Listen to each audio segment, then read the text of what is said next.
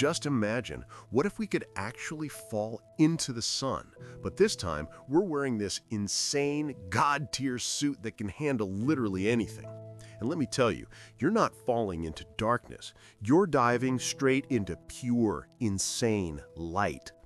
The outer atmosphere, the corona, is already wild.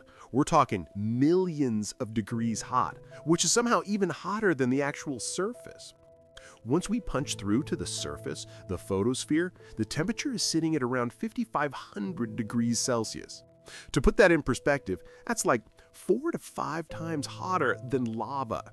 And it's not a solid surface, dude, it's a sea of boiling plasma, where every single bubble is the size of a country. Finally, we reach the core. This is where the heat gets maxed out. We're talking 15 million degrees Celsius. It's so hot, there's literally nothing to compare it to. The pressure is so insane, it just smashes hydrogen atoms together to make helium. That's nuclear fusion, and we're watching the solar system's power plant